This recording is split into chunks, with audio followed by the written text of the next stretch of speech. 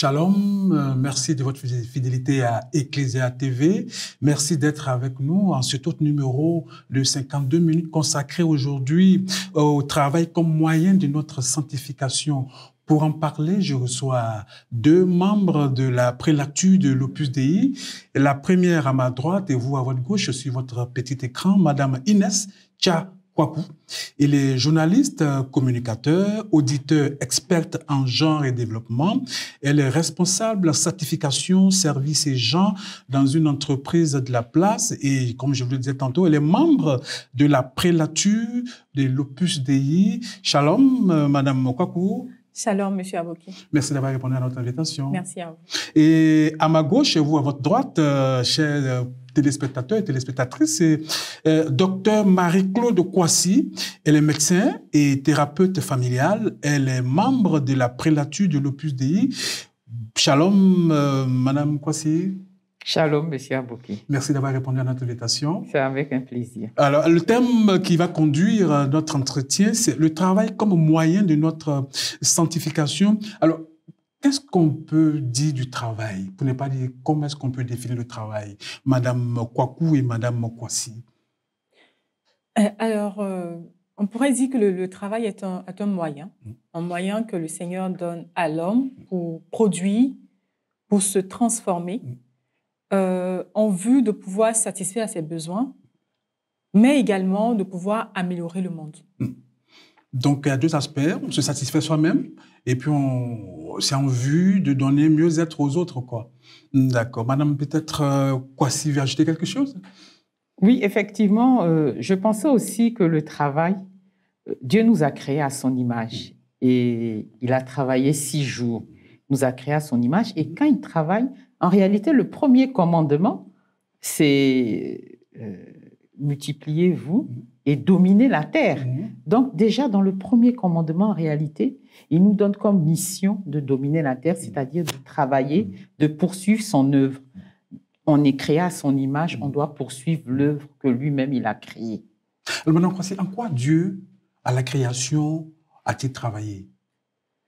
Il a créé le monde, l'univers de rien, de sa, par sa parole. Donc le fait que par sa parole, il a amené à l'existence ce qui n'existait pas. Dans nos mots, on peut euh, assimiler ça au travail. Donc, c'est le fait de, de partir de rien Mm. et de créer le monde. C'est cela le travail. Qu'est-ce qu'on peut donner comme leçon à partir de cela comme, euh, à, à l'humanité? Chacun d'entre nous est invité à travailler et doit découvrir même le sens de sa mission sur Terre. Et le sens de cette mission est étroitement lié à ce que, à l'action humaine. Donc, l'action humaine donne sens à notre présence sur Terre. Et souvent, cette action humaine, hein, de façon régulière, c'est un travail, c'est du travail. Donc, ce qu'on doit retenir, c'est que chaque être humain doit découvrir sa mission au sein du travail. Chaque être doit découvrir sa mission au sein Du du, travail. Oui. Donc, c'est une mission, une vocation en quelque sorte. C'est un appel, c'est une vocation. Et chacun d'entre nous a un appel. Souvent, on dit, euh, tu demandes à un enfant, euh, qu'est-ce que fait ta maman? Il dit, elle travaille pas. Mhm. Mais le travail à la maison, c'est du travail. C'est La maman, une vocation. de lui et du, Ça, du lever du du, soleil foyer, exactement. Mhm. Donc, c'est du travail. Mhm. Mais cette perception, donc, qu'ont les gens, on doit vraiment la changer. Et c'est un peu beaucoup ça, même la spiritualité de l'Opus qui nous fait découvrir que toutes les activités sont du travail. C'est du travail qu'il faut pouvoir sanctifier. Alors, quand on transpose cela au sein de l'Église, au sein de la communauté chrétienne, comment est-ce que les chrétiens et les chrétiennes doivent-ils euh, comprendre euh, cela Euh, Alors, euh, le, le Christ, euh, Saint Paul même euh, l'a dit, celui qui ne veut pas travailler, qui ne mange pas non plus. Mm. Donc, dans la définition du travail, on a vu qu'il s'agit d'abord, à travers cette production, de satisfaire à nos besoins. Donc, tout être humain a des besoins, donc il faut travailler. Et ensuite, améliorer, participer. Dieu nous fait, Dieu nous met en relation pour pouvoir participer à ce monde qu'il a créé, pour pouvoir participer à l'amélioration de ce monde. Donc, un chrétien qui ne travaille pas, euh, normalement, ne devrait pas être à l'aise. Bien avant le péché originel, le Seigneur crée l'homme et la femme. Mm. il les met dans le jardin et ils disent pour qu'il le cultive, pour qu'il le travaille. Donc, dès la création de l'homme, Dieu donne cette mission à l'homme. Après, la pénibilité va arriver avec euh, le péché originel. Mais tout être humain, lorsqu'il voit l'exemple de Dieu et le Christ qui prend, le Dieu qui prend chair, parce qu'on peut trouver que, bon, Dieu, il a fait euh, de la parole, il a créé le monde par la parole, donc c'était pas difficile. Mais il s'est fait homme. Et pendant 30 ans, il a travaillé. Donc nous sommes tous appelés à travailler si comme on le dit, notre modèle, c'est le Christ. Et donc les chrétiens sont, invités à travailler comme Dieu a travaillé à la création de l'univers. Travailler bien. travailler bien. Vous ajoutez travailler bien? Travailler bien. Il y a une nuance. Travailler, travailler bien? Bien sûr, Monsieur Aboké, il y a une nuance. Dieu vit que cela était bon. Mm. quand, vous lisez le, le, texte de la création, vous voyez que il crée. Mm mais il s'émerveille de la beauté qu'il y a dans la création. Mm. Donc, le chrétien, quand il travaille, il doit, ce n'est pas de l'orgueil, mais il doit savoir que c'est le résultat que je donne à Dieu. Mm. Parce que Dieu donne ce qui est bon. Parce qu'il faut mettre Dieu toujours au, devant, au milieu. Parce que c'est le modèle par excellence. Lorsque le modèle est un être humain, c'est possible, mais il a des faiblesses. Mm. Mais Dieu est l'excellence. Donc, lorsque je travaille pour le présenter d'abord à Dieu et non pas forcément d'abord à mon patron, mais je sais ce que je lui donne. On a l'exemple de Caïn et d'Abel. Il y a les produits qui ont été donnés, mais les produits de Caïn ont été rejetés. Parce que Abel a pris le meilleur pour donner. Et c'est à ça que le Seigneur nous appelle. Bien travailler. Bien travailler. Je pense que c'est pas tombé dans les oreilles de sourds, Madame Kouakou et Madame Kwasi. Alors, vous disiez tantôt qu'au au, Jardin d'Éden, euh, Adam et Ève ont été mis au Jardin d'Éden. Euh, est-ce qu'on peut dire qu'ils ont travaillé? Tout était à leur disposition pourtant. Est-ce qu'ils ont, est-ce qu'ils avaient vocation au, au travail? Je vous ramène mm. euh, à, la, Genèse, je crois au chapitre 2, verset 15, mais c'est le Seigneur qui le dit. Mm. Le Seigneur les créa hommes et femmes, mm. les mit dans le jardin pour qu'ils le travaillent. D'accord. Il le dit lui-même, pour qu'ils le travaillent. On connaît une invitation au travail. Au travail. Mais après, il y a le péché originel qui va euh, montrer cette pénibilité. Au départ, le travail n'était pas forcément lié à la, satisfaction de leurs besoins, puisqu'ils avaient tout dans le, dans le jardin. Mais le Seigneur, après, leur dit que c'est avec le travail qu'ils pourront aujourd'hui se prendre en charge. Mm. Pourquoi devaient-ils encore travailler, Adam et Ève? Je pense que euh, Marie-Claude euh, l'a dit, c'est une vocation mm. et c'est vers le départ. Le Seigneur même a travaillé et il a voulu que la créature qui doit dominer le monde puisse aussi travailler. L'homme, l'être humain, est appelé à dominer le monde. Dieu crée tout et il crée l'homme et dit dominez la terre, soumettez-la. Quel, rapport peut-on faire entre Dieu qui invite Adam et Ève au travail, mhm. à, multiplier, à se multiplier, à dominer la terre, et puis cette désobéissance? Je veux dire, ils avaient tout à leur portée.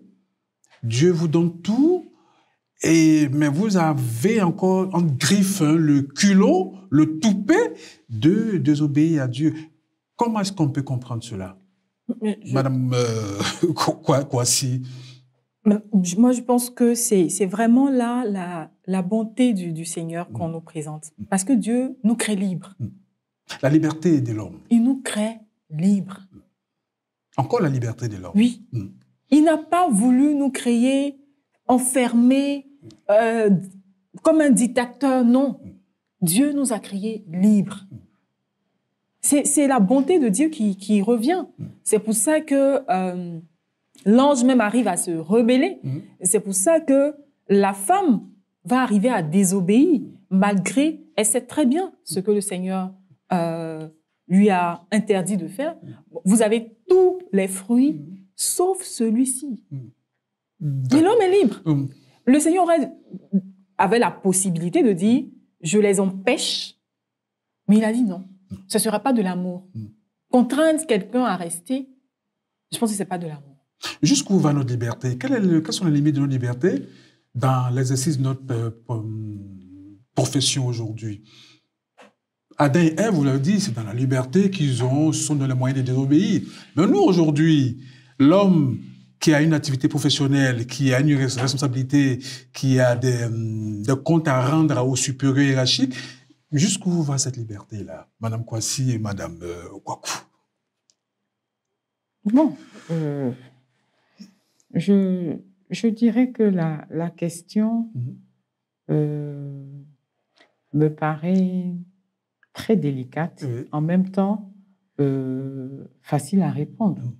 Bon, si on est employé, on doit suivre les indications du hiérarchique, du supérieur hiérarchique et faire ce qu'on nous demande, tant que ce qu'on nous demande de faire est, est honnête et juste. Donc, euh, mais je dirais plutôt, on a besoin d'audace. Au sein du travail aujourd'hui, on a besoin de beaucoup d'audace et de courage. Nous n'avons pas aujourd'hui euh, autant d'audace ou l'audace manque aujourd'hui? L'audace manque énormément, le courage aussi, mmh. pour pouvoir justement euh, se sanctifier au sein du travail. Pourquoi? Parce qu'il y a vous allez voir qu'il euh, y a certaines personnes qui font le minimum. Alors, euh, les chrétiens voudraient être dans l'ensemble, le, se fondre dans la masse. Se mettre dans ce moule. Et, absolument, se mettre dans un moule et suivre tout ce que tout le monde fait. Et pour faire de façon différente, parfois il faut de l'audace et du courage. Il faut quelque chose d'intérieur. Maintenant, je voudrais dire que ce quelque chose d'intérieur-là, ce n'est pas forcément les chrétiens qui ont le monopole de ça. On nous rappelle régulièrement que les Chinois ne croient même pas en Dieu, donc ils croient en une philosophie, hein, une philosophie orientale. Et pourtant, d'un point de vue euh, euh, progrès social, progrès technique, ils sont au top. Mm.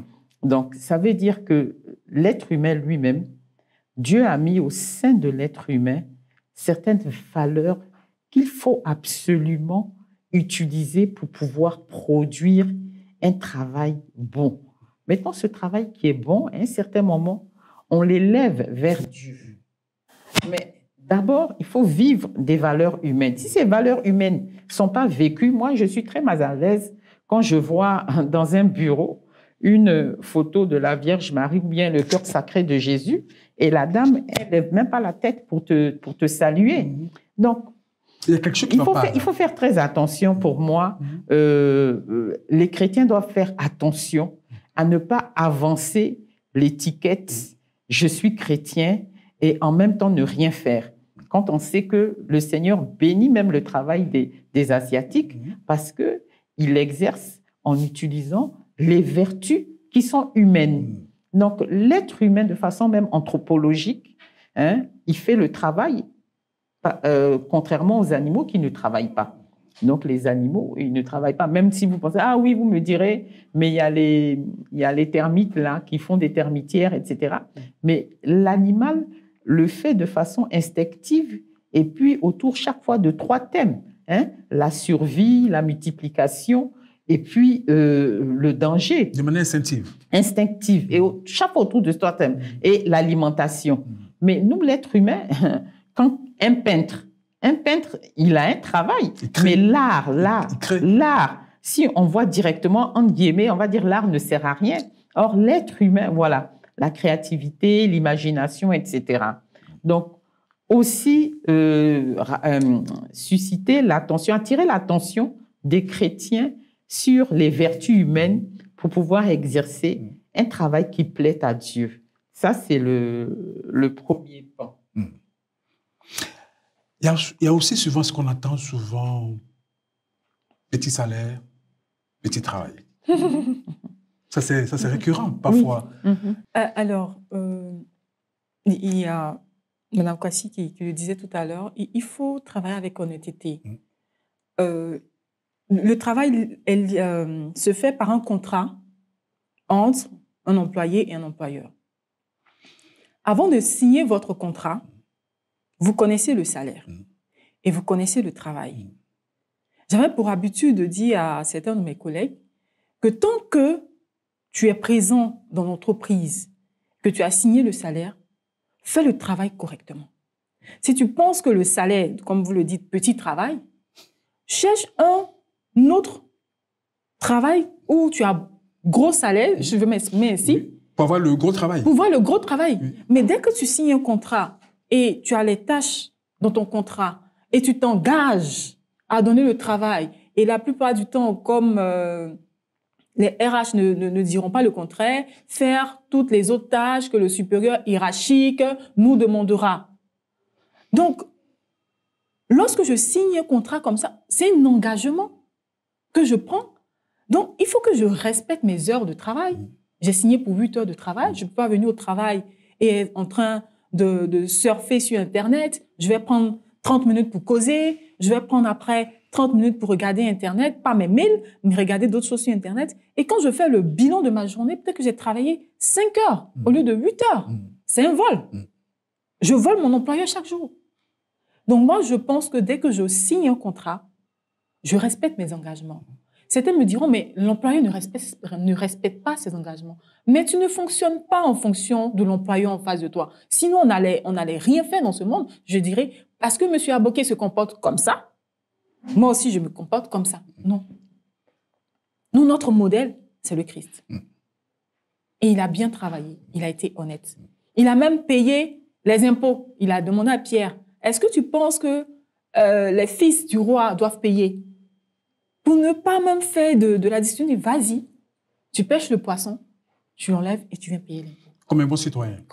Qui sait que les impôts servent euh, euh, aux autorités à répondre aux besoins de la communauté. Et il a dit donner à César ce qui est à César, donner à Dieu ce qui est à Dieu. Donc tu as signé un contrat, respecte tes engagements. Alors Adam et Ève au jardin, euh, lorsqu'ils ont désobéi, le Seigneur, je dirais dans sa sainte colère, leur a dit désormais vous allez travailler pour vous prendre en charge et la femme connaîtra la douleur de l'enfantement. Est-ce que le travail ne devient pas en ce moment-là, par ces paroles-là, comme une sentence, comme une malédiction? Je crois que Inès a parlé de ça. Elle a dit que le travail, après le péché originel, c'est la pénibilité, la souffrance qu'il y a dans le travail. Elle a dit que la terre sera difficile à labourer et tout. Donc, c'est le côté souffrance, fatigue, lassitude qui est ajouté après le péché originel comme une, malédiction, on va dire euh, une punition de cette révolté. Donc, c'est ce côté-là. Mais avant ça, il fallait quand même que euh, l'être humain travaille. Donc, il faut intégrer le fait d'être fatigué, le fait de se sentir euh, très mal à l'aise quand on travaille. Ce n'est pas une maladie. Il faut que les gens sachent que tout le monde est fatigué quand il travaille, mais ce n'est pas une raison pour ne rien faire. Ce n'est absolument pas une raison pour rien faire. Il faut tenir compte de ça. Et puis, malgré la fatigue, aller de l'avant. C'est pour ça, justement, les gens admirent euh, beaucoup les footballeurs ou bien les athlètes. Vous voyez qu'ils ont mal. Qu'est-ce qu'a dit à l'heure À l'heure, il avait mal à la cheville, il a voulu sortir. Malgré sa douleur, il est resté. Le jour de la finale contre le, Nigeria, oui, malgré il était à deux doigts de sortir. Il, il, est, il était à deux doigts de sortir. Et son collègue lui dit, c'est le diable qui te met ça à la tête. Et il lui dit, excuse-moi, tu as raison. Et il reste. Donc, et les deux minutes qui suivent là, il, marque, Le but, Donc en fait, cette douleur-là, chacun d'entre nous l'éprouve au sein de son travail. Le problème, c'est de, de se rendre compte que euh, la souffrance, la lassitude, l'ennui et tout, la tâche est répétitive. Elle, est, elle accompagne le travail. Mais parfois, on occulte ça. Hein. Et aussi, actuellement, on manque beaucoup de, de, de personnalité, petit, petit salaire, petit travail. Madame Kwaku l'a dit, moi-même, je conseille aux personnes de tirer les fiches de poste. Elle a parlé de fiches de poste. Tu tires ta fiche de poste, tu mets à côté de toi et puis tous les matins tu lis et tu exerces. Non, parce que la comme, comme pense bête quoi. Oui, j'ai rencontré il y a une amie médecin qui me présente son directeur d'hôpital. Elle me dit ah Marie-Claude, je te présente le directeur d'hôpital. Et puis lui dit, oh, quel bon directeur. Les gens sont là en train de, bon, au sommet, en train de prendre les décisions. Nous, on n'est pas. Non, mais en fait, si tu ne crois pas Je comprends que oui, c'est vrai, tu es directeur, mais ce n'est pas ta propriété, l'hôpital. Mais là où tu es, si tu tires ta fiche de poste, tu vas voir qu'il y a beaucoup de tâches, en principe, qui te sont dévolues, mais que les gens vont pas te donner. Il faudra aller chercher, aller te battre pour pouvoir justement respecter cette, cette fiche de poste. Donc souvent, la mission qu'on nous donne, on ne veut pas se l'approprier parce qu'on pense qu'on va nous la dérouler sur un tapis rouge, alors que pas du tout. Et je voulais, je voulais aussi euh, ajouter que on, peut voir euh, le travail après le péché originel comme une malédiction, mais non, pas du tout. Parce que, euh, comme, comme elle le disait, il y a un effort. Il y a un effort qui est donné. Mais si on va seulement d'abord sur le plan humain, lorsque je fais des efforts face à la souffrance, face à la fatigue, mais j'acquiers des vertus, des qualités, j'arrive à être endurant, et on a vu l'exemple qu'elle a donné pour alors. Mais lui, quand il passe cette épreuve, mais il devient plus endurant dans les difficultés. Mais pour le chrétien, lorsqu'il a cette difficulté, mais il s'unit au Christ sur la croix. À cette dimension-là qu'on oublie Mais il y a cette dimension spirituelle dans le travail. Hmm. Lorsqu'il y a la souffrance, lorsqu'on n'a pas envie de faire. C'est bien de dire qu'on est chrétien quand tout va bien. Mais quand le travail devient pénible, mais je m'unis au Christ sur la croix. Donc, loin de vouloir voir cette souffrance comme la malédiction, parce que sur terre, rien ne s'obtient sans souffrance. Absolument. Alors le Christ Jésus, il est entré dans cet esprit de Dieu. Il a travaillé de ses mains. Pendant 30 ans. Pendant 30 ans. Mhm. Et qu'est-ce qu'il a exercé comme activité professionnelle, le Christ? Il était charpentier. Comme Une activité manuelle. Oui. Comme, son père putatif Joseph. C'est ça. Mhm. C'est ça. D'accord. Alors, quel rapport y avait-il entre le, Christ et le travail? Qu'est-ce qu'on pourrait sortir de là Bon, moi, ce, que, ce qui m'impressionne, mhm. c'est c'est deux, deux paraboles. Hein. Celle des talents, où il nous fait comprendre qu'il y a une obligation de produire du résultat. Obligation de résultat. Obligation de résultat. Quelle que soit l'activité qu'on mène. Quelle que soit l'activité, quelles que soient les circonstances, qu'est-ce quel que soit ce qu'on mène comme activité. La et quelles que soient les circonstances. Le PDG. Ah, c'est la guerre, c'est la sécheresse, c'est pas je viens d'accoucher, etc. Il y a une obligation de résultat. Et il, il explique, il dit si tu ne pouvais pas produire le résultat, il y a toujours obligation de résultat, mais tu, il y a une autre façon pour toi d'obtenir du résultat. Il, et, et, même, il fait attention, il accepte la, la différence de quantité.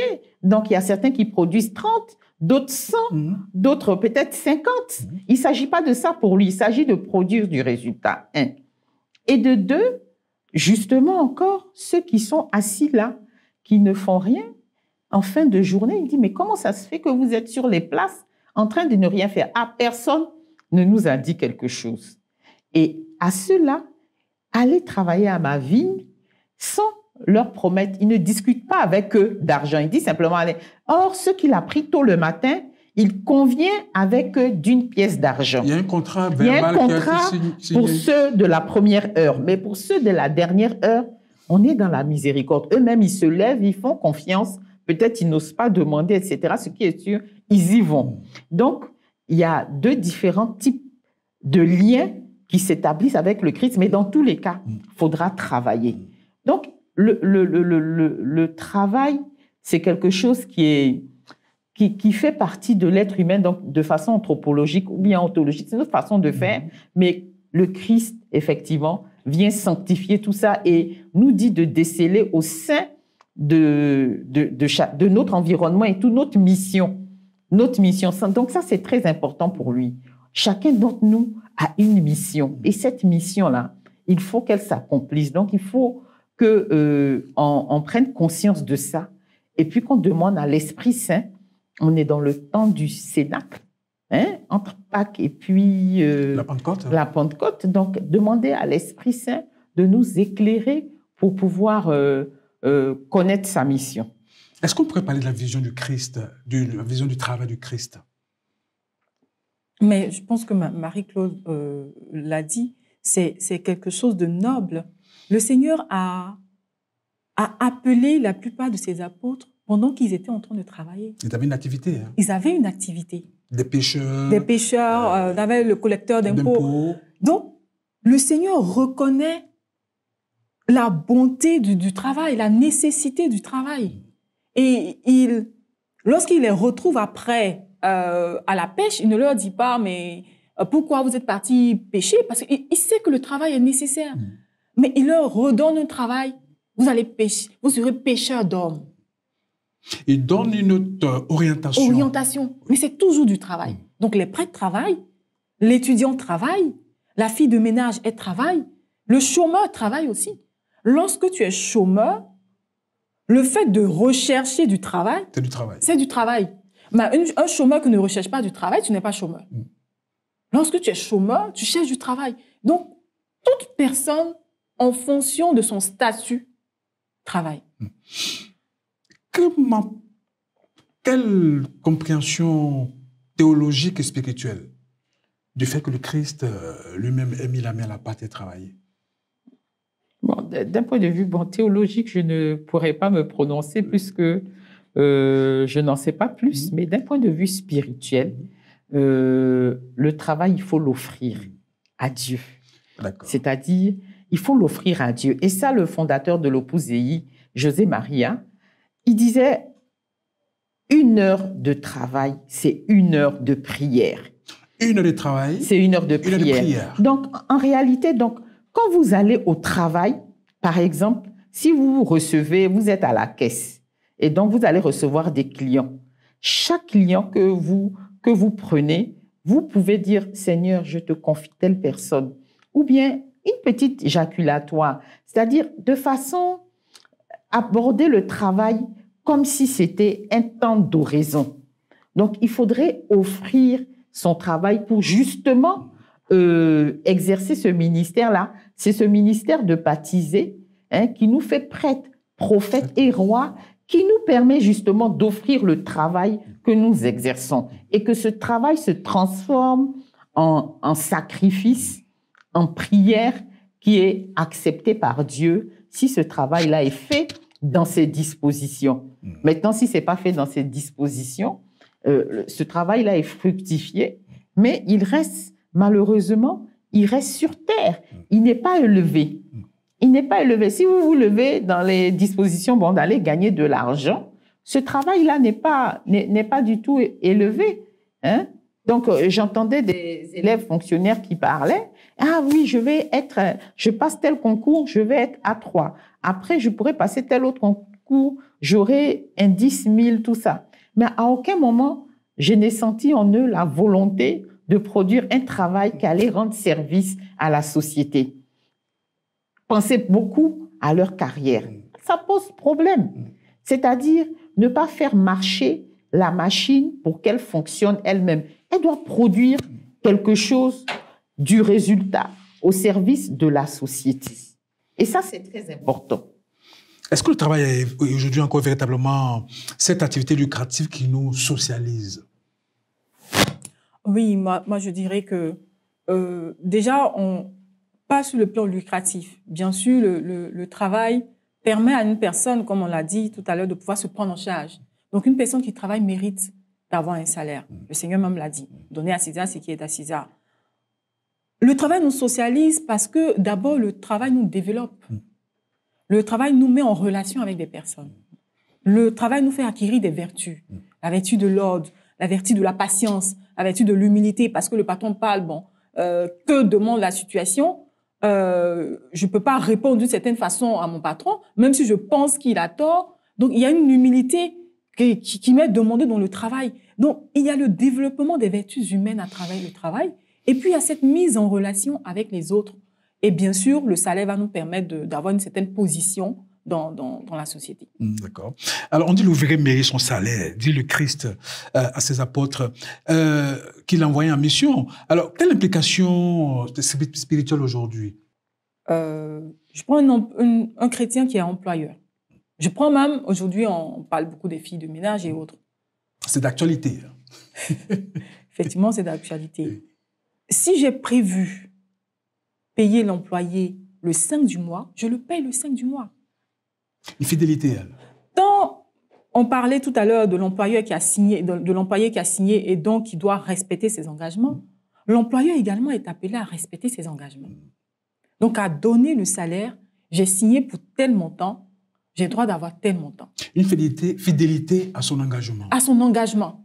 Donc, les deux parties sont appelées à, à, à mettre en pratique l'engagement. Donc, on ne dit pas, s'il y a des difficultés, parce qu'ils ont droit à avoir leur salaire, ils ont, ils ont, ils ont la maison, ils ont l'eau, ils ont la- les charges. Donc, si je sais que je vais avoir un retard, il faut prendre les devants pour aller vers l'employé, pour lui signifier qu'il aura un retard.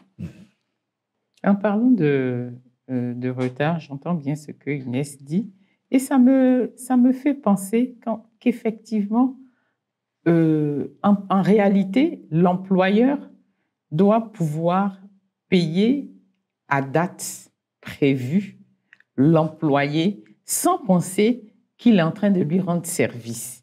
Si l'employé, l'employeur, par exemple, il a déjà l'argent, pourquoi attendre que euh, l'employeur, par exemple, pour les métiers, on va dire les métiers de traditionnels qui sont pas trop formalisés, euh, travail à domicile et tout, pas besoin, tanti, et mon argent et la personne même s'excuse comme j'ai besoin pour envoyer. Non, si c'est la fin du mois ou bien si c'est tous les cinq du mois, il faudrait pouvoir donner cet argent-là à son personnel. Et même en tant que manager, il y a un très beau livre que je n'ai pas lu, mais j'aime bien les titres.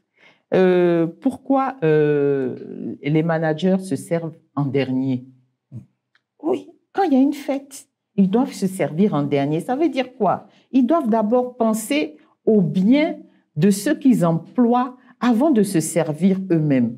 Ça, c'est un effort important à faire. Il y a beaucoup de, structures qui ont fermé ici parce que les managers, ceux qui étaient à la tête, n'ont pensé qu'à eux. Et en portant derrière eux euh, tous les travailleurs qui finalement euh, tous se retrouvent à la rue. Donc il y a un examen de conscience à faire euh, auprès de, enfin un examen, une sensibilisation à faire au manager pour voir si vraiment il est en train de servir les autres. Et servir les autres, c'est les faire grandir, les faire grandir en les développant. On a passé en revue avec Inès comment le travail développe en, exerçant les vertus humaines. D'accord. Alors, Madame Kwasi, euh, Madame Kwaku, il est dit que le salaire est la contrepartie de l'activité qu'on exerce. Est-ce pour autant qu'on doit euh, succomber à toutes sortes d'activités, quand bien même elles mettraient en, en danger notre, notre euh, intégrité physique, intégrité morale Je n'ai pas envie de citer, mais il y a certains métiers euh, qui, mettent, en- qui mettent en mal euh, euh, la dignité humaine. hein. Pourtant, il y en a qui, les- qui, qui, qui les exercent, ces, ces, métiers-là. Oui, même, bon, de façon grossière, on sait tous. Mm. Par exemple, si vous êtes euh, travailleur du sexe, Mm. ce n'est pas un métier qui fait honneur euh, à l'être humain. Donc, c'est, vous n'êtes pas en train de faire quelque chose qui glorifie Dieu. Donc, ça, forcément. Mais pour aller un peu plus loin, il y a certaines personnes qui carrément n'acceptent pas des postes parce que ça va impacter leur famille. Mm.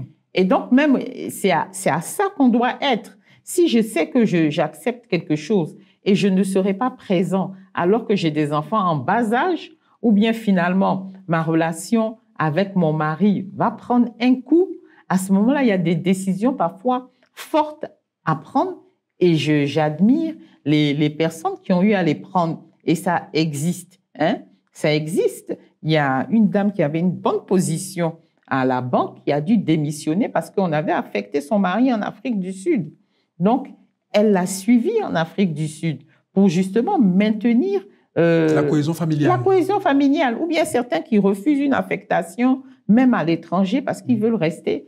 Il y, a, il y a beaucoup de circonstances. Donc, ce n'est pas, on ne peut pas dire oui à tout à cause de l'argent. Mais forcément, euh, vous êtes dans, bon, je prends beaucoup d'exemples à l'hôpital, mais même si quelqu'un vient vous raconter que oui, il doit faire un avortement, déjà c'est interdit, mais de façon illégale, ne pensez pas que vous êtes en train de rendre service à la personne et puis vous allez le faire. Non, il y a des... il y a Comme il y a des- chrétiens au nom de leur foi qui ne feraient jamais ça. Exactement. Comme il y a des avocats qui, au nom de leur euh, croyance, ne, ne- ne- ne défendraient jamais quelqu'un qui, qui aura violé ouais, une femme. Voilà, c'est ça, c'est ça, c'est ça.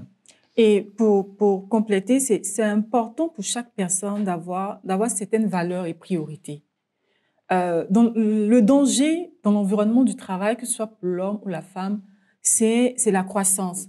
C'est euh, quand vous avez des, des propositions de, de, de postes. Mais la question qu'il faut se poser, et ça, euh, Saint Maria le dit, mais pourquoi je fais le travail?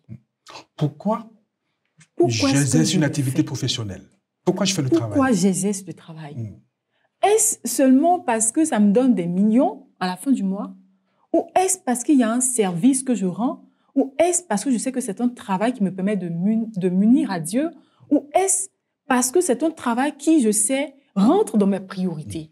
Et elle a dit, si le travail qu'on me demande, on a 24 heures dans la journée, me prendra peut-être 10 heures ou 12 heures dans la journée, et quand on voit les embouteillages à Abidjan, et qu'on regarde euh, le temps de sommeil, si je suis inexistante à la maison, mais à quoi ça sert ce travail mm.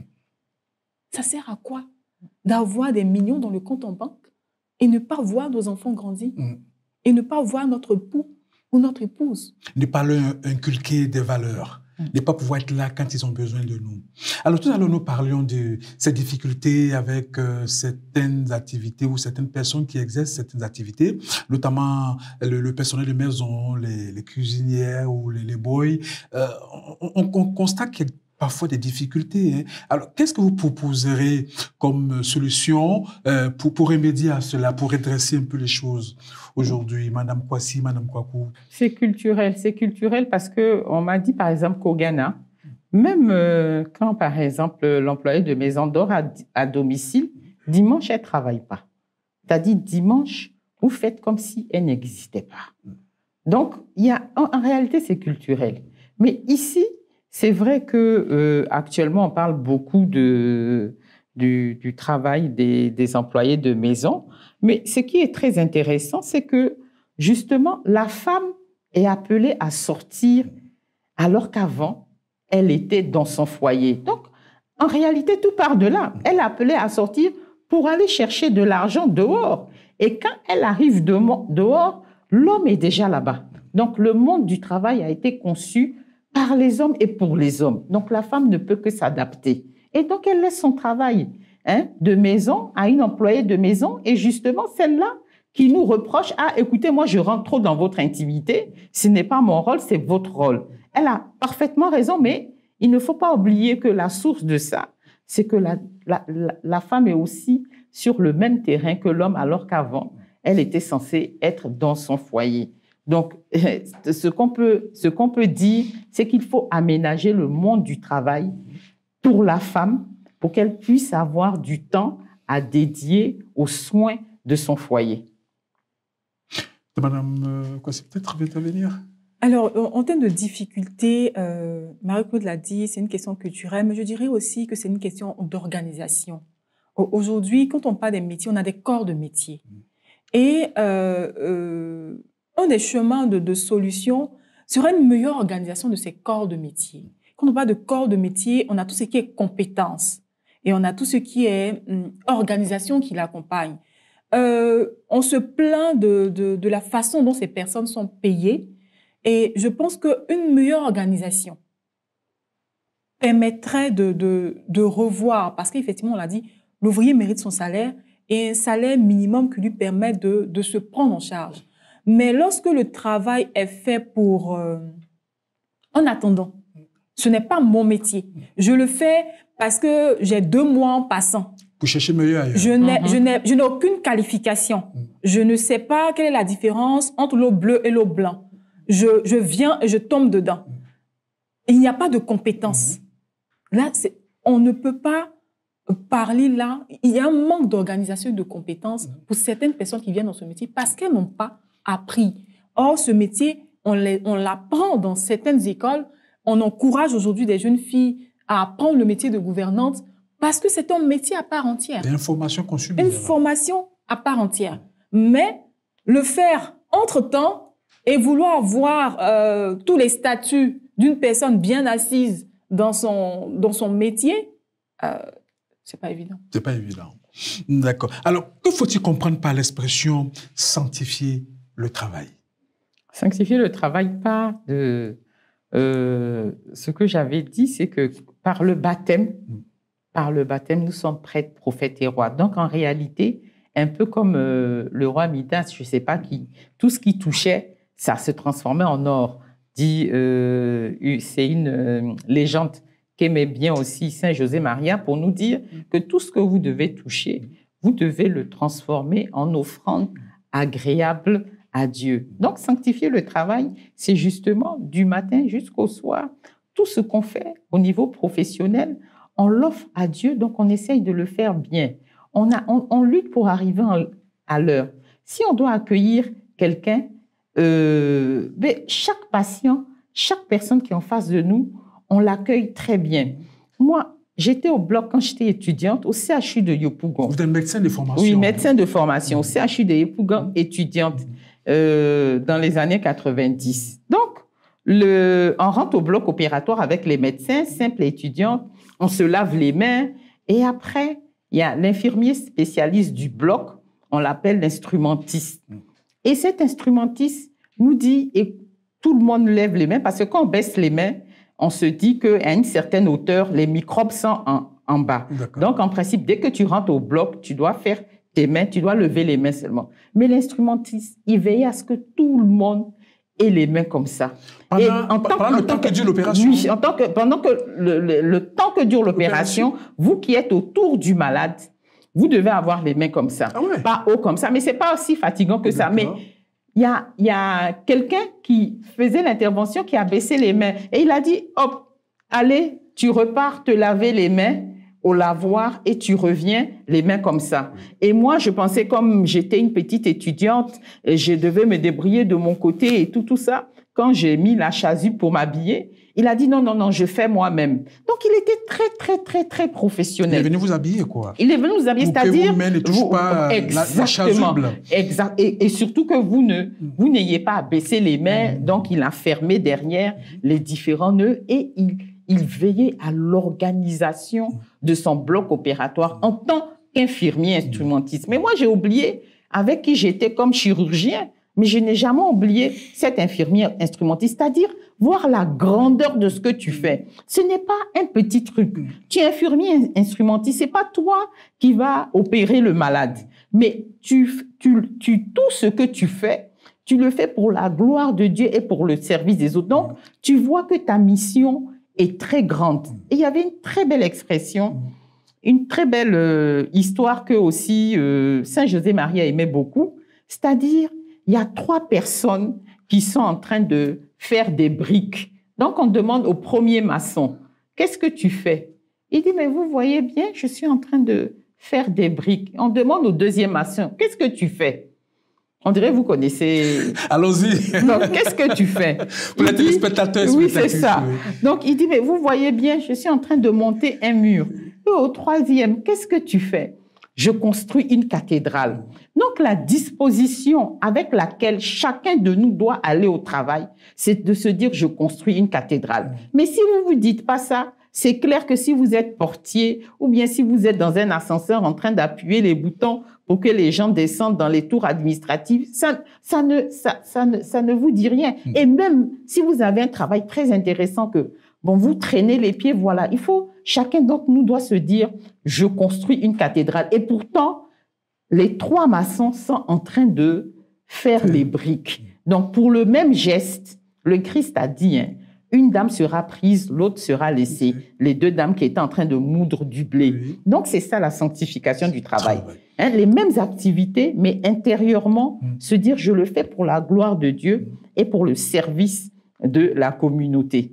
Alors, c'est quoi, qu'est-ce qu'il faut comprendre par se sanctifier dans le travail?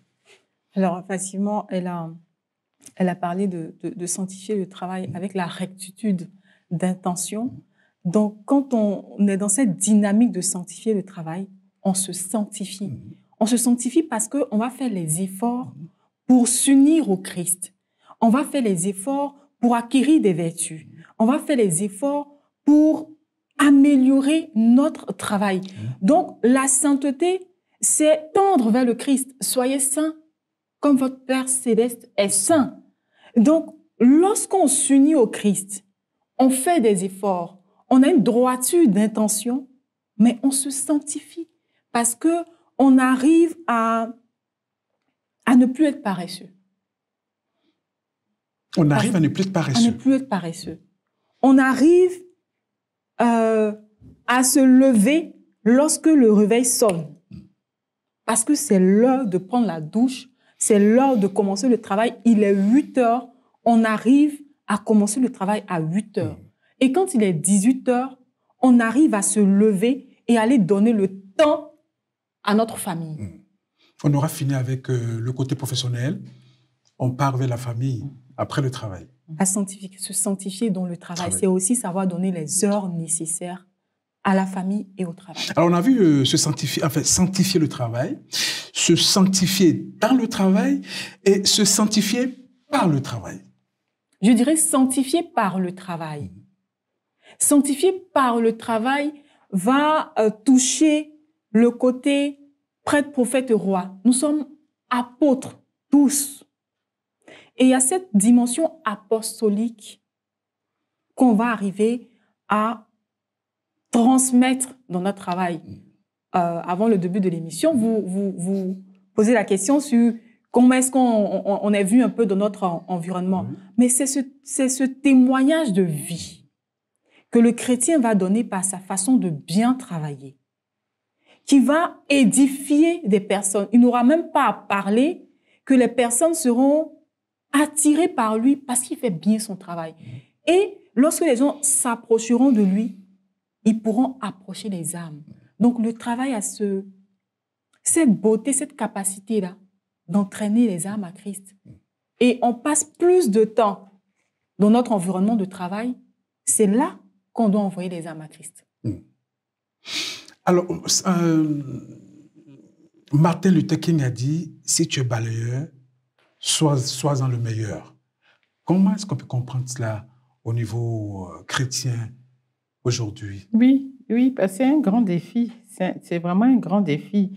Et c'est pour ça que euh, c'est une très belle phrase de Martin Luther, King qui veut nous dire que chaque, chaque travail est, saint et digne d'être sanctifié. Il ne faut pas se dire, et le fondateur de l'Opus Dei aussi, Saint José Maria, on l'avait invité aussi à l'inauguration d'une université en Espagne, et il a dit quelque chose de ce genre qui, pour compléter, pour, il a dit, oui, l'université est très belle, mais je vais vous dire que je ne sais pas si entre le doyen et la femme de ménage, je ne sais pas lequel des deux a un travail qui est plus important aux yeux de, de Dieu. Et donc, c'est pour, pour dire que, effectivement, la femme de ménage, si elle fait son travail en présence de Dieu, avec amour et avec euh, dans l'esprit de le sanctifier, effectivement, ce travail-là sera beaucoup plus agréable à Dieu que le travail du doyen.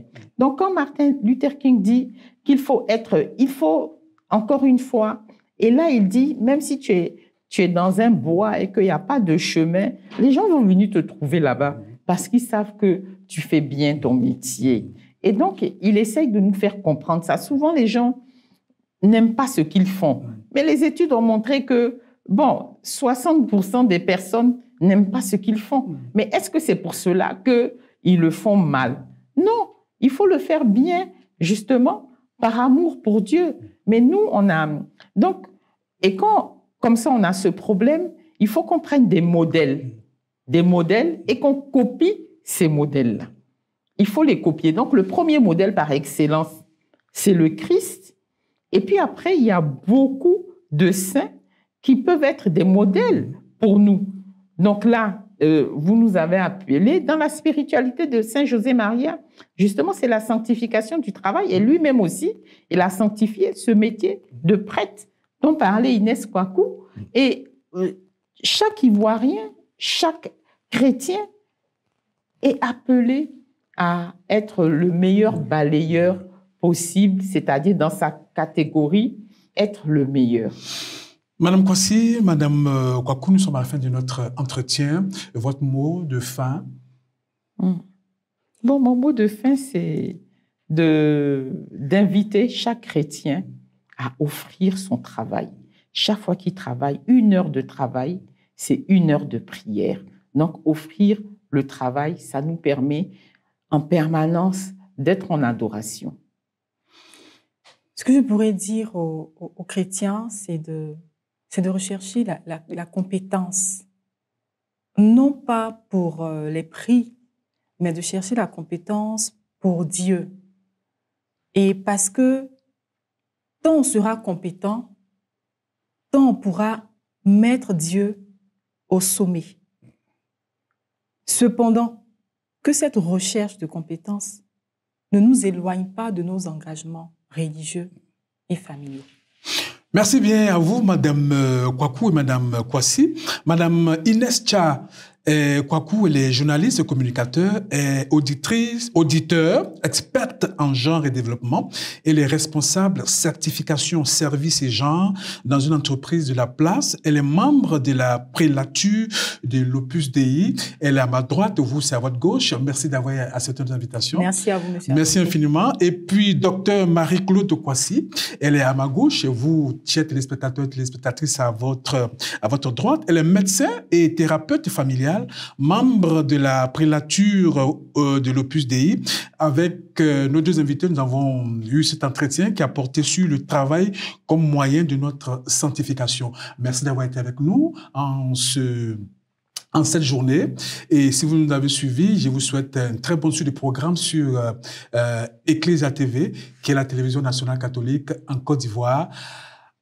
Très euh, bon suivi des programmes sur Ecclesia TV et puis euh, shalom chez vous.